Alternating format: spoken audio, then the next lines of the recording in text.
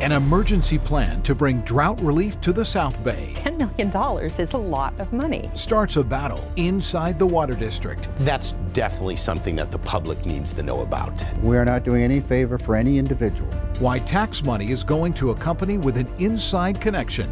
Do you see that as a conflict? Uh, no. Tonight at 11 on NBC Bay Area News, we investigate.